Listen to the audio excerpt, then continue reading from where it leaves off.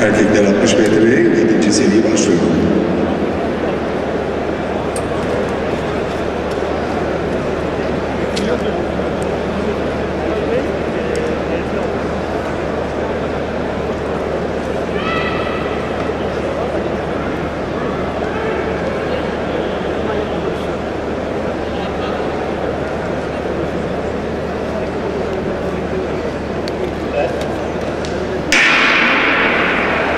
Start verildi.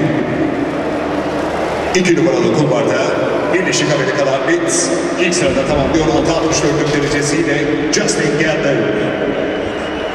Well, there was fresh air between Justin Gatlin and the rest of the field. Gatlin going through.